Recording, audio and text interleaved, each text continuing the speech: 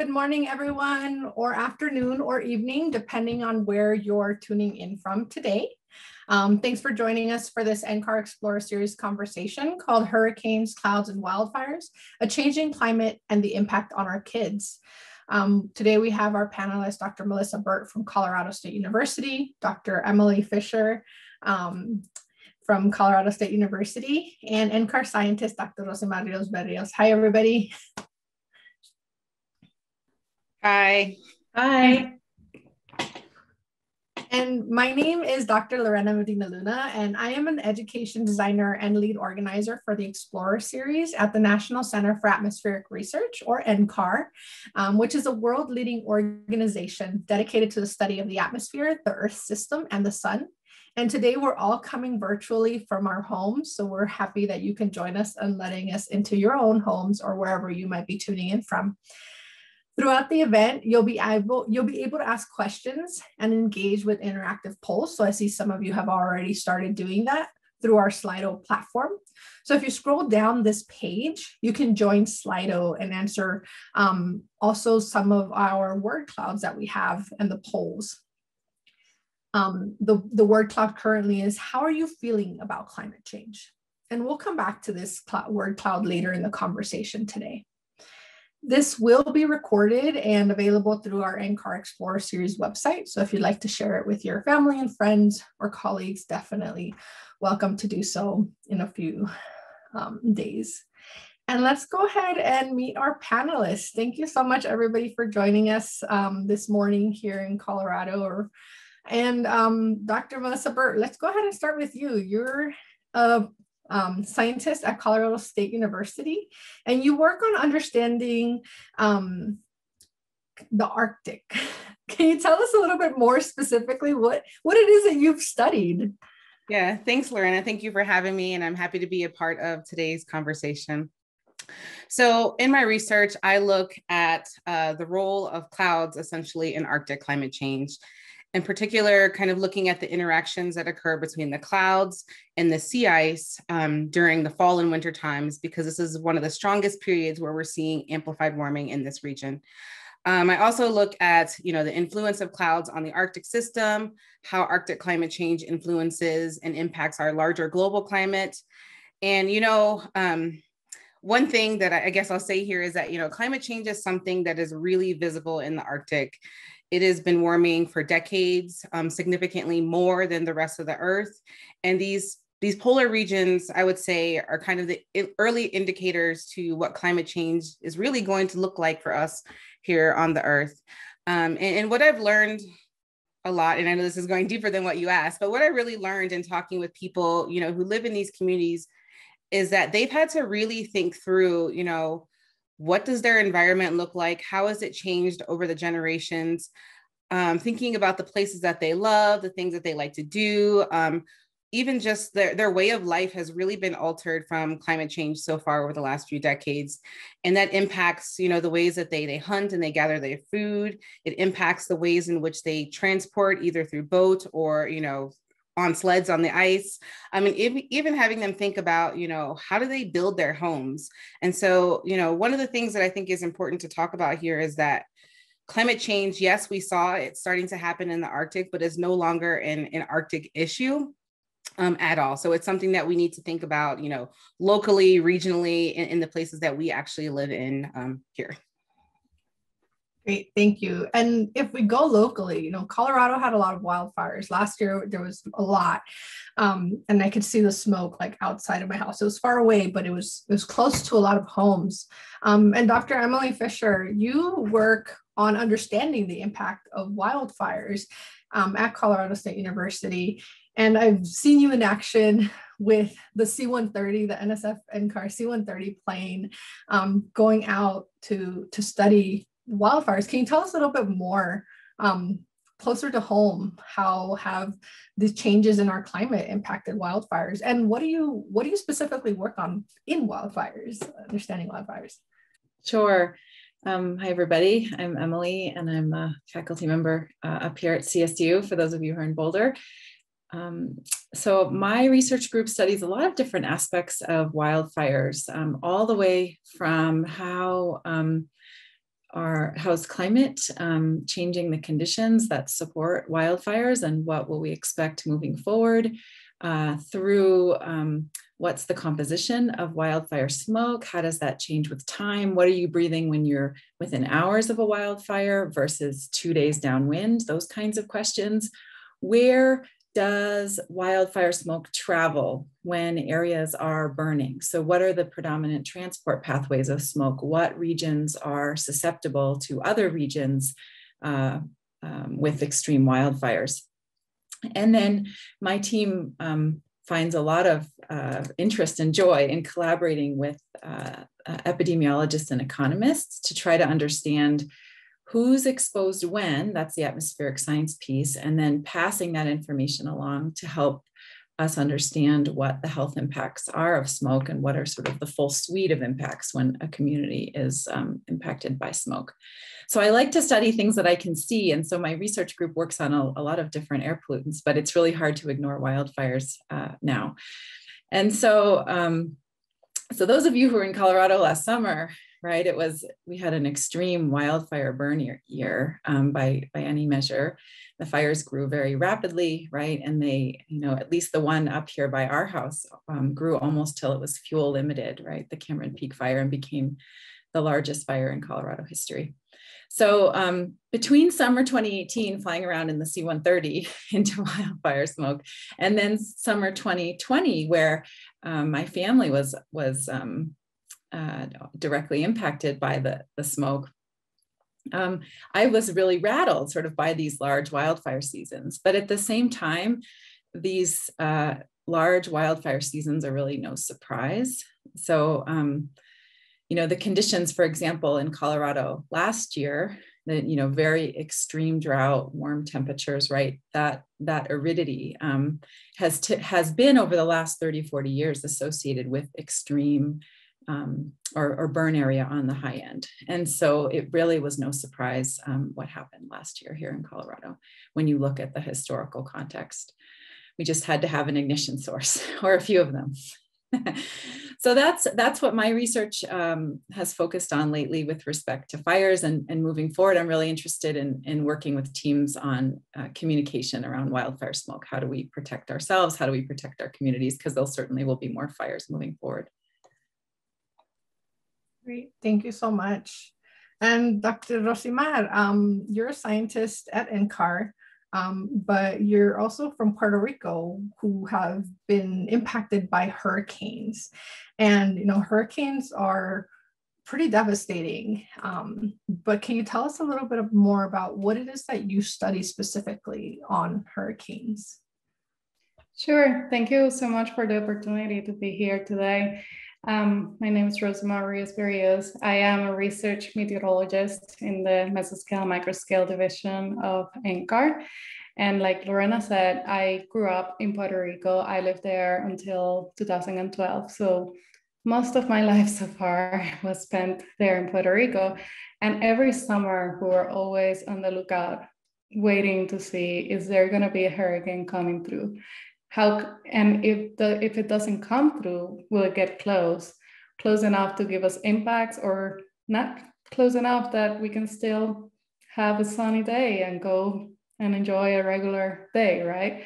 Puerto rico being a small island means that just a teeny tiny change in the path of a hurricane can mean anything from very devastating winds and rain to just a sunny day with a hurricane just very nearby so yeah, growing up and just experiencing that made me very curious about why we couldn't just say for certain, like, yes, the hurricane will come in five days. Um, just get ready. And I thought, well, let me just do it better. I'm going to go there and stand in front of your TV and give you the perfect forecast.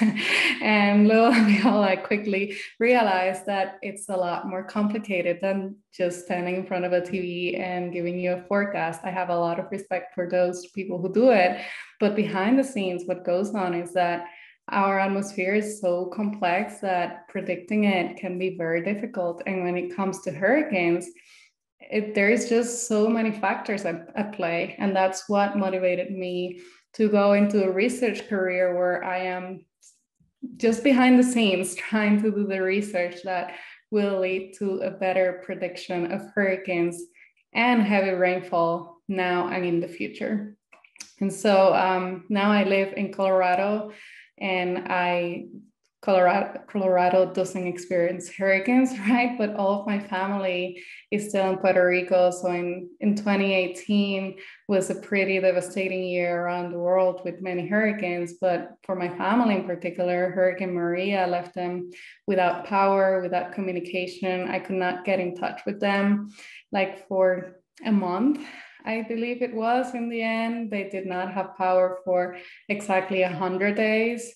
And right after Hurricane Maria, a study came out telling us that maybe in the future we will see more of those hurricanes like Maria. We don't know if we will see more hurricanes in total, but we may expect to see more of the very strong hurricanes.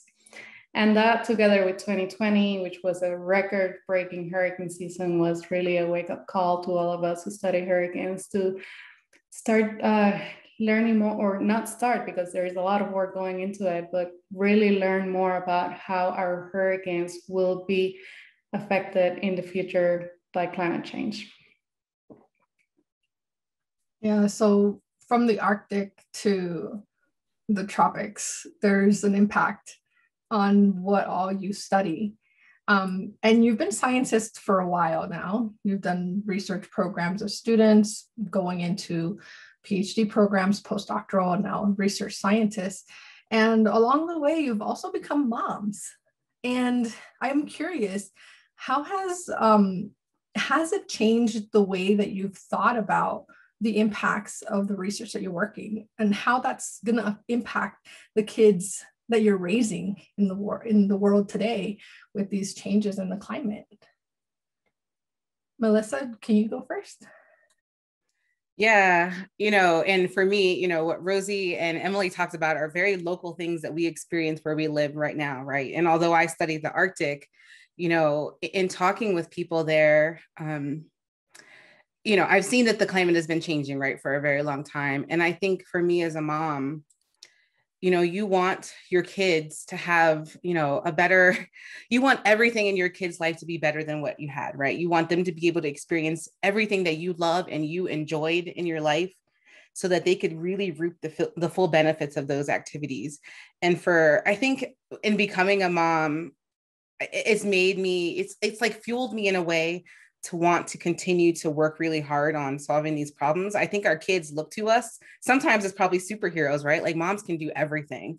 Um, and we can do a lot of things, right? And we really will work hard to kind of solve these problems, but we alone can't be the only ones to solve the problem. And so I think for me, it's just really um, challenged me to to want to continue to do the research that I'm doing, but also to use my voice in a way to have conversations with people so that they know that they have a responsibility or even a role to play in, in trying to, you know, move things forward as we as we talk about like tackling climate change in that way. So I think she has just given me um, this fuel in a way that just kind of makes me not want to give up even when i'm tired even when it's devastating to to hear about and to watch and to see but to really like give me the light and the hope to want to just continue to move forward.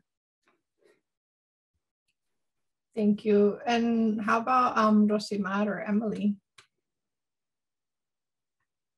Um, go ahead rosie.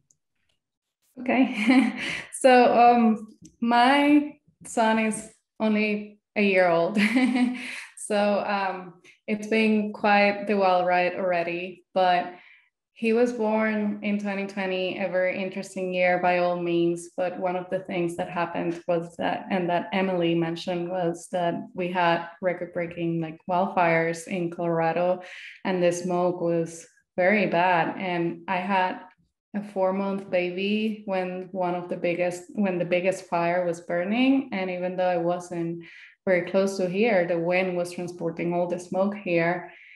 And I love taking my baby outside. And that's something that I am instilling in him the love for nature. And I think he's getting it because he was very cranky this weekend because he couldn't get outside. Side note. But um, the point being that it was just really scary the fact that it was so smoky and that the air quality was so bad and that his lungs were so delicate that I could not take him outside. And that was just very scary to me. And it made me think about like how is his future gonna be like? Like what is is he gonna be experiencing if we continue with the trend that we're going in terms of our global warming? At the same time, there were hurricanes, um, like unfortunately, like making landfall in the United States, making it um, close to Puerto Rico. And I was just thinking about all the places where I would love to take him and that I may not be able to take him because they may be like affected by flooding or by very strong winds. And so, in a sense, becoming a mom, um, like Melissa said, it it like in a way it made me think like I really want to keep fighting for him even when I'm tired and exhausted and frustrated. But at the same time, it really like brought the feeling of being scared for the future like a lot more intensely than it already was.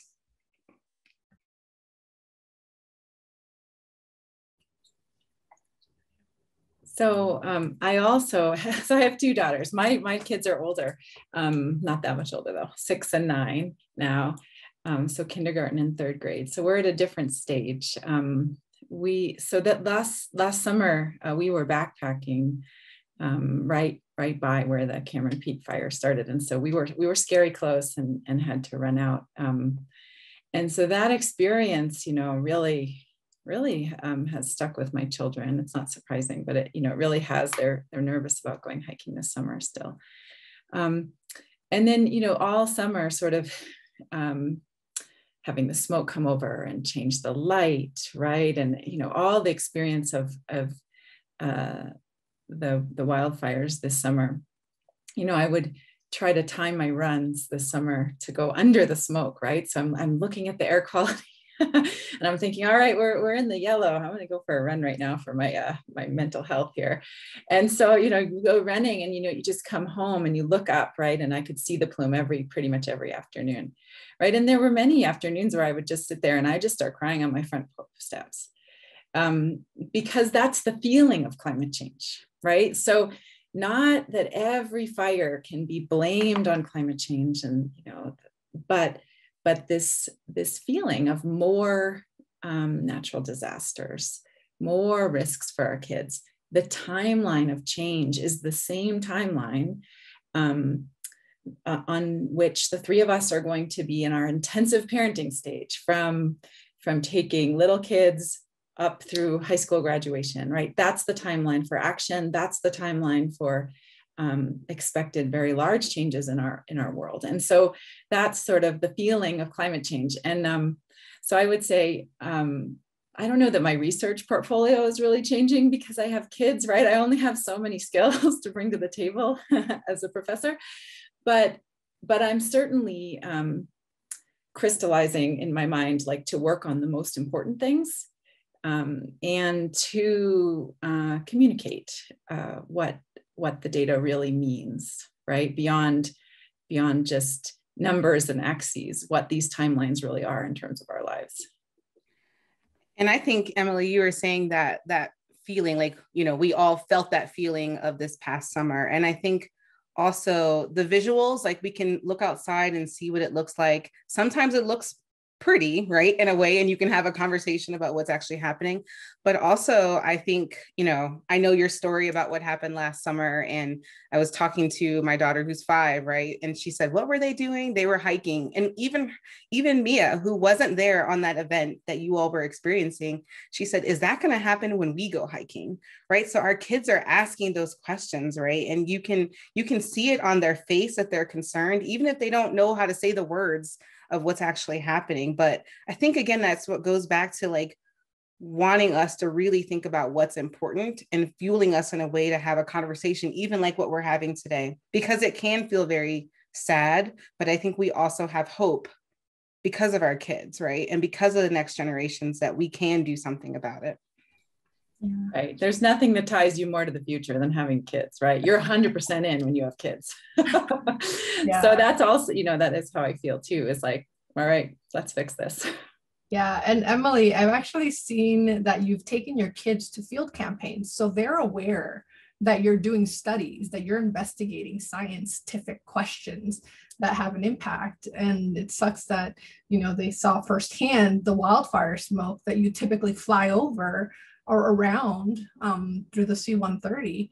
And I have a question, um, one from John, and we won't show it exactly because I'm going to rephrase it a bit, but it's kind of talking about, you know, um, the soils that are drying, the loss of moisture and content. And you talked about, you know, having that environment that would likely be prone to more wildfires. And I guess I wonder, do you agree that there is more drying landscapes that are fueling wildfires? Um, the question is if you can share your thoughts about, about something like that. Sure. So um, when you look back on sort of year to year variability or interannual variability in burn area for different Western US ecosystems, the um, environmental drivers that uh, correlate with uh, larger burn areas vary depending on the location. So in some areas, um, winter precipitation, the prior winter precipitation is really important in some areas, you know, it's spring and summer temperature that's really important. In the Rockies, in particular, in the, the, the sort of the our ecosystem that runs, you know, from Montana down um, south of us here, right? In in our area, in the best predictor of the interannual variability in burn area is aridity, and so that's when I say. Um, for Colorado for last year, it was sort of right in step with what you would expect.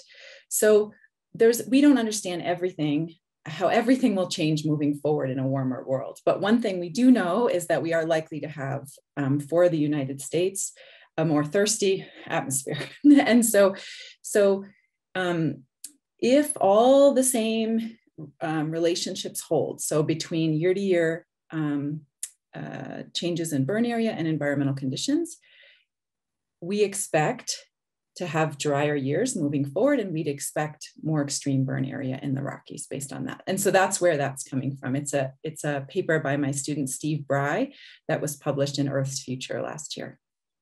But each ecosystem is different. Um, and you have to you have to look ecosystem by ecosystem. And right humans also start fires. Um, we also try to put them out. Um, there's also different land management choices that can be made right? And so it's not the only driver of, of changes in burn area, but it's certainly one of them. Great, and thank you, John, for that question. And I know we're talking about a lot of the, the feelings that come about with our changing climate, and we actually have a word cloud about it, and then followed by a question. Um, but Paul or Dan, would you be able to share with us the word cloud of um, how are you feeling about climate change? we have the biggest one. So as word clouds, if there's many people that put in similar words, then we have um, the word get larger. And they see we're trying to troubleshoot, but essentially the biggest one is concerned. There's people that are anxious, they're scared, they're frustrated, they're worried. Um, change needs to happen. So we can do a lot better. And I want action. Some people are heartbroken. And I've heard you all on the panel also say some of these words and, you know, one of the questions that we have is, you know, it says um, from Layla, it says, I'm terrified about talking to my son about climate change because I'm afraid that I can't without scaring him. I'm an expert. Do you have any suggestions? And Melissa, you kind of started to talk about this already. And thank you, Paul and Dan, for sharing that word cloud. Um, but you you guys started talking about you know talking with your five year old it's like am i going to get caught in a wildfire if i go hiking you know there's already these fears they're young but they understand so how do you all talk with your kids are you coming off mute emily Okay, I'll go first. I guess I'll say, you know, um, like I said, my daughter is five. I think, you know, I guess the first thing that I would say, I believe that was Layla who asked the question, is that we have to talk about it because it's important, right? It's an important issue that our kids need to be aware of. And, and for, for my daughter who's five, you know, we we go out kind of similar to what Rosie was saying. We go out, we explore the outdoors, we talk about, um, you know, the beauty, the creatures that are out there, like what are they experiencing, you know, how they do different things. And I don't go into the deep dive as to like the devastation about climate change right now, but I think just getting her to have a, um, understanding of how we can be like better stewards of the earth is something that's really important in the conversations that I have. I'll say there are a number of different like books and resources that actually kind of get at some of that angst. Like if you are worried, or not if you are, because you are worried about climate change and your kids are also worried about climate change, um, there are ways that you can talk about it just in an overall perspective, just to get them to think about it and to ask questions. And then there's a, as a good way to have a you can say that we're working on it right? We we know what the problem is. We have solutions in a way. We just need to make sure that these solutions are enacted right? And so giving our students or giving our students giving our kids um, the notion to know that we can do something about it i think is something that's really is is really important. I'll pass it to someone else Thank you, Melissa. And your little one's already having these conversations as you're having the conversation with us. So, yeah, Emily. Um, yeah, I can I can speak to this a little bit. So, um, you know, my older daughter, right, when she she was, and it was probably a year and a half ago, you know, she learned about climate change in school. And she came home and she said, Is this real? And I was like, mm-hmm, this is real. And and she started crying right? And and that's the right reaction. That is the right reaction to what's happening right? And and not to sort of to wallow in sadness right? Because it's not exactly my personality. But but um it's real right? And and like every other important thing that's real death puberty like you have to talk to your kids about them right? And and so whether that's hard and you might mess it up the first time you still have to talk to them about it. So um so my daughters i explain climate change to them and i explain the cause right? So i say we burn fossil fuels when we do that. We emit gases. They stay in the atmosphere for a long time. They build up like a blanket. Now we're sweating. Ice caps are melting. Sea levels rising. And there's more likely to be fires right? But i but i so i explain the the where where the problem comes from right? And then that we because we understand the problem and we cause the problem we can solve the problem just like other problems in our household. If you cause it and you understand it like you've broken something often you can fix it right? Especially with the parents help. And so the, how i reassure my kids is to tell them that i'm working on it. I'm doing everything i possibly can. Um, to get society to pay attention to this, this issue. Um, the other thing that I talk with my kids about is that, um, that we can't solve it ourselves. This is a society problem. This is a community level problem. This is something that we'll have to come together to solve, but that people do hard things. And this will be one of the hard things that we'll have to do soon. Um, and the other thing I do is I just remind them of it all the time. I'm like, shut the lights off for climate change you care about climate change shut the lights off right? I, I remind them i remind them in a mom way uh, sort of daily. Thank you. And rosimar you have a little little one. I know you mentioned kind of he loves to be outside and that conversation you know will happen but do you still talk a little bit? Like how do you how do you approach that? So yeah my my baby i still call him my baby even though he's into toddlerhood he's barely learning to talk now but you know that the thing with children is that they understand way more than we think. And that's why we need to have these conversations. And so yes i'm learning as i go but like just like emily said let's turn off the lights for climate change. We also do things like let's go for a walk instead of like playing with electronics and let's um, play outside. Let's enjoy the sunny day right? And those are individual actions that i'm starting to take with hopes that they will like inform him.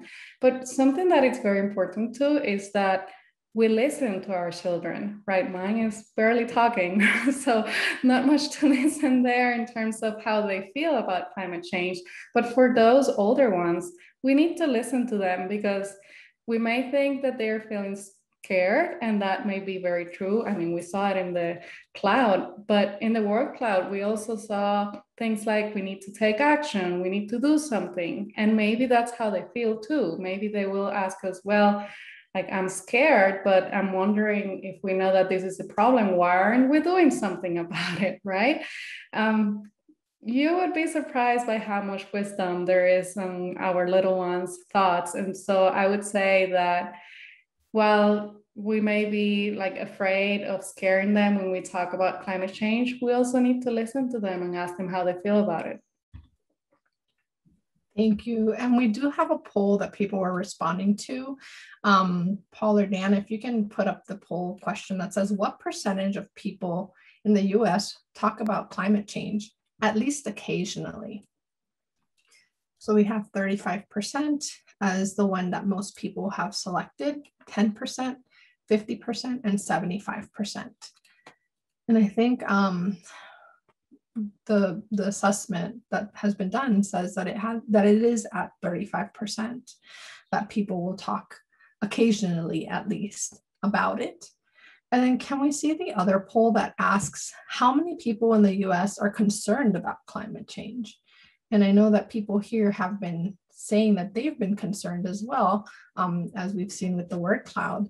And 63% is the majority of people who have voted, 42%, 27 and 71%. And indeed, it is, um, according to the assessment that's been made, it's 63% are concerned about the changing climate, which is, it's important because we have it as a way to be able to communicate. If people are, are aware of it, then we can feel reassured that hopefully we can all as a society be working towards making these changes.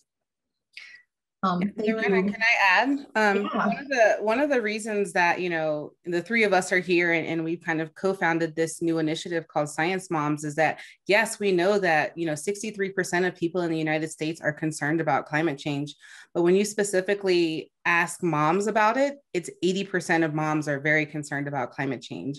And so we know that this is a group that really would take act that would take action if they feel as though they have the resources to do something about it, right? They don't have to understand everything about climate change, like the nitty gritty details, but even just that simple um, example that Emily uses to talk with her kids about climate change is enough information to get people to want to do something about it. And so we've really kind of wanted to provide moms and parents or whoever is listening with those tools that they need to be able to have a conversation because using our voice is just so important um, in in this in in this way to really think about this issue yeah and thank you for bringing that up so one of the other things you know mother's day is coming and we kind of were strategic about um, working with you all since we work with you as with NCAR works with CSU, NCAR works with scientists, scientists are at NCAR. And we've had some of you in our panels in the past um, but we haven't actually touched upon the personal side of the science that you do. So I, i appreciate that you bring up Science Moms because it is a campaign that's starting. Rosimar, you are one of the newer people that are there, also Latinx Hispanic. So you have that connection with another community, like I'm Latina. So it's a community that we don't really talk about things. So it's like, how do we bring this conversation up? And we have a video if we can play it in a bit. Um, and because Emily, you kind of talked about, you know, while you're all raising your kids, this is the prime time. And by the time they're older, you know this is the biggest impact that, that they're going to face is the changing climate and the environment that they live in. Um, so i'm going to have my t-shirt ready because i've watched this multiple times and it still gets to me because now i'm expecting to be a mom in midsummer. Um, so it's it's it's touching me definitely a lot more than it would i think um, otherwise even though i do have nieces and nephews and cousins and everything it's just it, it's more impactful as it's happening now. Now I have, I have to like watch out for somebody else. Um, but Paul or Dan, can you please share the video by the time? As a scientist, I know by the time she takes her first breath, 9 billion more tons of carbon pollution will be in the air. When she takes her first steps, wildfires will have burned millions more acres she could have explored the day she gets her first pet, there are thousands of newly extinct species she'll never meet.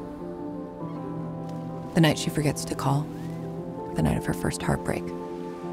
Her future home floods for the first of many times. By the time a child born today goes to college, it may be too late to leave them the world we promised. Our window to act on climate change is like watching them grow up. We blink and we miss it.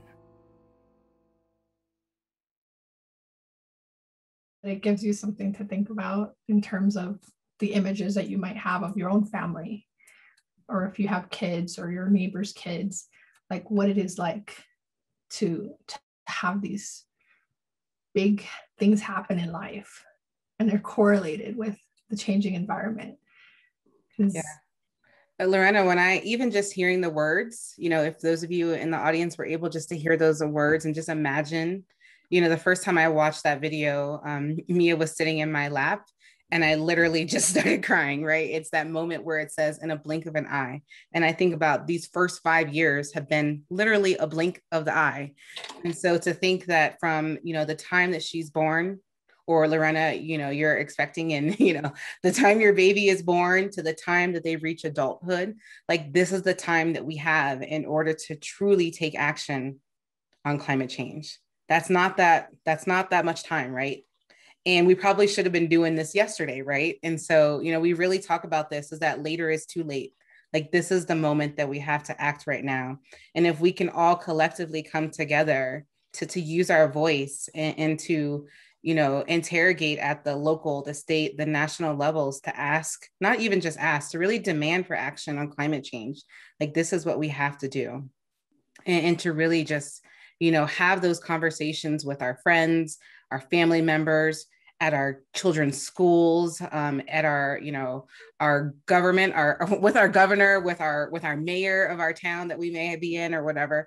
Um, i think it's just really important to have those conversations. And that can be really intimidating to reach some of those levels but i think the more and more people that we can have this conversation with and and just thankful for all of you who are here today um, that's really just the start of, of how we can really work towards action and to get rid of the gridlock that we've been facing and that we've been feeling um, as it relates to climate change. Yeah, thanks, Melissa. So, you know, when I think of uh, motherhood, right, the, the days are long, but the years are short, right? And so it's, it's, you know, you think about it the same as our, as our timeline for action here. And I think this is what, um, you know, putting it in this, this framing right, is important for us to communicate. Um, by you know starting the Science Moms Initiative, I think one thing I've learned is you know new ways to communicate um, accurately so that people understand the timelines that we're talking about here with respect to um, you know changing our energy use um, and slowing down climate change. Thanks, Emily and Melissa. And Melissa touched upon like the collective action that we need to take. And I want to emphasize that a lot of us have mentioned small actions that we take at home, right? Like telling our kids, let's shut off the lights for climate change. But in reality, climate change, it's not a me problem, it's an us problem. And we really have to come together to demand action, to demand a transition to more clean energy. And that's one of the things that we're trying to convey with Science Moms is that we really need to all come together. We're, we're targeting moms, right? Because moms are especially concerned and because just moms have this special ability of getting things done. But this is something that really, really, really affects us all moms, dads, parents, non parents, everyone. And we have another video, and um, hopefully the, the video will work well for everybody. And if not, this will be available on the Science Moms website, and you can check out more, more videos and um, also links on our Explorer Series website. But I'll hand it over to Melissa if you could play that one real quick. Humans have been on Earth for about 300,000 years, but we've only started polluting like this in the last 60. Our pollution stays in the air for thousands of years, creating a thickening blanket that traps heat in the atmosphere. That heat causes stronger hurricanes, bigger fires, more frequent floods, and the extinction of thousands of species. But there's good news. To stop the pollution blanket, we just have to stop polluting. Go to sciencemoms.com to learn how.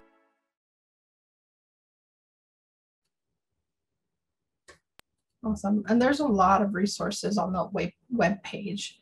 And I'll just read out loud one of the, the comments and questions, you know, that we got one from Kavan. It's very difficult for Thai parents to talk to their children as they're not informed. So how do we change that culture here? And I think for me, that's that's also a thing. It's like we just don't talk about anything. We don't talk about death in my family much. We don't talk about puberty. You just kind of it kind of just happens, um, and you have to figure it out.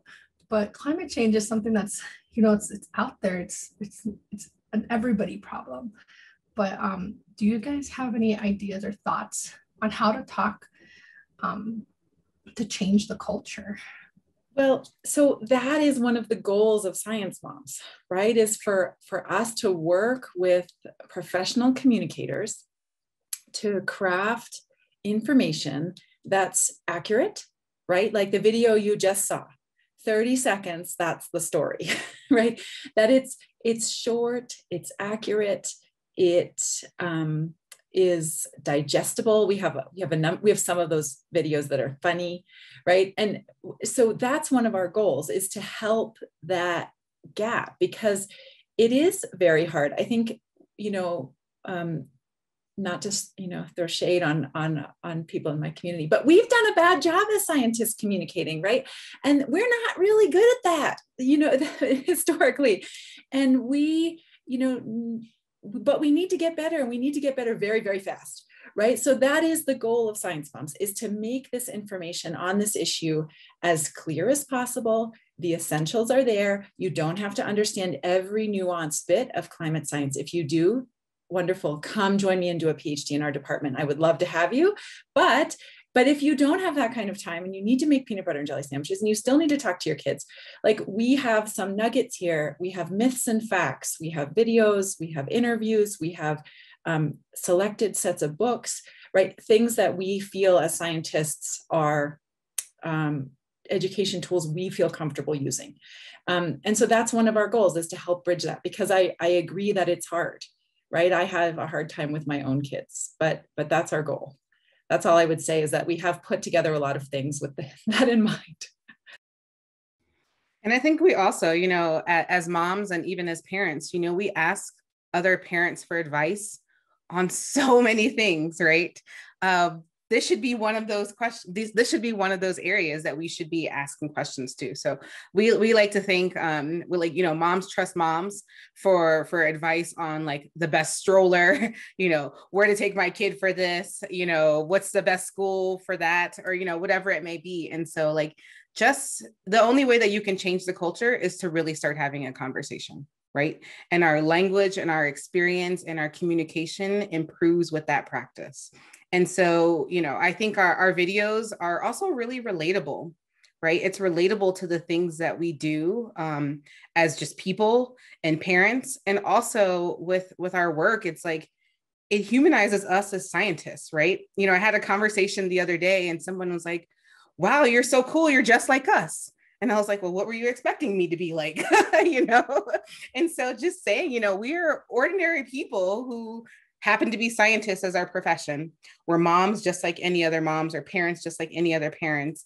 And so, if we can come together on that shared value that we have, which is our kids or our future kids or whatever it may be, like people are, are so happy to talk about their children, right? It's the first thing you do is show pictures of your kids, right? Um, and so, like, if we can think about the future of our kids, we want our kids to have a better life and here are the steps that we're going to take and we need all of you as people, parents, whatever it may be, to want to be a part of that change. And it's not too difficult to ask people or to, to really ask our elected officials to do something about it. That's their job, right? You know, we're not politicians, so we're not making politics, we're not doing anything like this, right? But we can get people to use their voice to ask for that. We're asking them to do their job. We have the solutions. We want we need a, a more clean energy, you know, space for all of us. Yeah, and going back to the question, we wish we could have the the content in all of the languages so that, for example, Thai parents could like be informed about this. Right now, our, all of our content is in English and Spanish. So we're hoping that we're bringing this educational message and this powerful message um, across audiences, not just English speaking, but Spanish speaking for now as well. And we hope that this can help multiple communities and diverse communities in our country, especially those that are being affected um, the hardest to comprehend this information and you know in simple digestible ways and also to inspire action yeah there's a lot of resources out there. It's just a matter of like finding some that that work for you and work for your families and friends. I know we have the ucar um, side the ucp side of, of ncar has the globe program which is nasa funded program. And they have um, they have books. It's called elementary globe books and they're in multiple languages not just english and spanish. And they talk about different like air quality climate clouds, soils, water, and they have activities that you know you can do with your kids too. Um, and then we had a comment in the ideas part of the slide was saying, you know, Denver meteorologist, you might know like you might be aware, Mike Nelson. He's a co-author of a new short book titled The World's Littlest Book on Climate. Um, so there's a lot of people that are scientists who are publishing. They're using their voice to to get like the story aspect. So i myself am a scientist geophysics so i studied earthquakes but now i do science communication. And i think one of the things is how do we tell a story to engage with communities to to make it personal to make it feel like i can connect with what they're saying and that's part of what we do with explore series is try to work with scientists to talk with the general public and to have general public and everybody to be able to to have this engagement. In a virtual world it's been through the slido platform so i appreciate everybody logging on and asking your questions and comments. Um, you know and we'll be back in person hopefully by the by the new year. Um, but i think that's that's the importance is how do we make these connections build stories and share our personal like things that we do as scientists and how it impacts the societies that we live in and the communities that are most impacted, like you were saying, Rosimar. Um,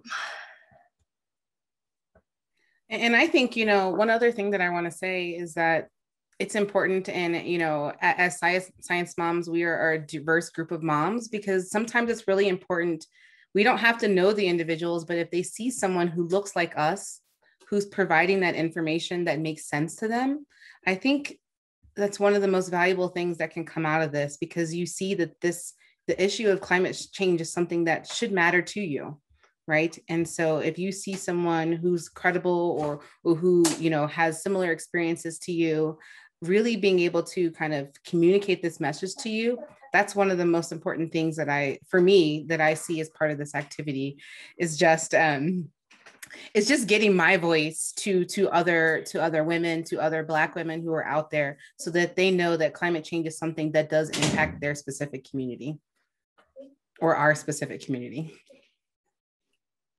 Yeah and same for me with the hispanic and the spanish speaking communities as well. Um, we we as any other people like have so much information out there and it's just very difficult to discern like what's true, what's not. And sometimes it's not relatable to us, or sometimes, you know, we don't understand it. Like my parents, I they don't speak English, right? So if I were to show them the videos, maybe they would not understand all the audio, but if um, the content is in Spanish, then it's accessible to them. And for me, that that part is very important as well. And I've already received comments like, oh, it's, it's so nice to see a familiar face, even though they don't know me. but the fact that I look like them, that I speak like them, that I speak in the language that they speak, then they they call me a familiar face and at least some of the feedback I've gotten is that then the message like speaks to them and they can feel more connected and more informed and more empowered to take action. Yeah, thank you so much. And you know, we had another comment from the ideas on Slido and it said, you know, many projections on climate change. I look forward, look forward until the year 2100 and look far away. But when starting my courses, I often ask my students whether they might have children in the future. And most of these children will still be alive in 2100. So thinking about, you know, you all are scientists right now and whatever our kids decide to do in the future, you know, I wonder if you have some advice for people who are interested in pursuing careers in atmospheric or related sciences um, that you can give us since we're kind of coming up to the top of the hour. Go ahead, Emily. You want me to jump in? so um, think about it. Depends on your stage. Don't shy away from your math and physics and chemistry. That's the first one. But you also need to be able to write and you need to be able to um, see the big picture. So yeah so you if if that's if you're interested in pursuing a career in one of these fields you should do it these uh, earth sciences are incredibly relevant to society. Um, I can't think of a I can't think of a an earth science field that that doesn't matter very very deeply for society. Um, and so we also need all kinds of brains, right? All kinds of brains. Um, so because these problems are hard and they'll really only be solved by a diversity of perspectives. So I'll stop there. But um, yeah, be a scientist. It's fun. It's pretty fun. Yeah. And also I say by nature, you know, we we're all scientists, right? Especially when you think about us as kids, right? We're so curious about what's happening in the world around us, but then sometimes that just gets shut down or shut out for some reason. And I would say, you know, try out things that even just seem this much interesting to you, right? Like don't close doors in a way because you don't know what may come out of that. I'll say, you know, seek out internships, right? NCAR has a number of internships that that are pretty awesome and I know changed my life um, in, in, an amazing way. And I'll specifically shout out the SOARS program for that. Um, but I'll say, you know, they can be life changing experiences and really opens your eyes up more um, broader than anything that you would ever experience typically in school. So I think just be open to opportunities um, that are out there and and have conversations with people. Like I get emails all the time that says, "I just would love to learn more about what you do and how you got here," but also understanding that there are many different pathways to get into our field as well. So there isn't one right way. Um, to be able to go at it. So so to be curious um, to be open and to be willing have willingness to actually learn. And something i'd like to add is that our field intersects with so many other fields right? We heard emily earlier speak about working with epidemi- oh, sorry, epidemiologists and economists. Um, there's uh, so many people in private industry, in Wall Street, in the um, shipping companies, in, in so many fields that they come to earth scientists for uh, collaborations, for um, work on like, or advice on uh, topics that matter to them, like if there is a truck traveling across the United States transporting your mayonnaise, they need to know about the weather, right? And they need to know about the weather conditions. And, and so uh, our field uh, intersects with so many other fields. And that is something that, in my opinion, makes it so beautiful because it can appeal to so many of your other interests that you may have, right? You may like um, transportation, banking, um, news. whatever you want to call it, it more than likely intersects with earth sciences, earth sciences, and you can make a very unique career path with those intersections of different interests. Yeah, and won't get bored. you won't get bored. Yeah, and you know, I do the science communication aspect of it, but there's people that do journalism and they go into news reporting. Um, there's artists who will draw like comic books about science. You know, there's a lot of different mediums to be able to connect with people in different ways. Um, so keep reaching for the stars and, you know, everybody can have a voice, everybody has a voice to be able to share what it is that they need from from their communities and people who who who um, represent us. Um, and with that, I just want to say thank you to all of our panelists and thank you to everybody who participated. Um, we had a lot of comments um, as we were going through the conversation, and I will be sharing all of these with our panelists. So thank you so much. Um, and thank you, Dan and Paul, for supporting this event. Um, so thank you, Melissa, Rosimar, and Emily for joining us today. Happy Mother's Day. Thank you. Thanks for having us and happy Mother's Day. Happy. Mother's Day. We'll see you all for the next Explorer Series event and we'll talk to you all soon. See ya.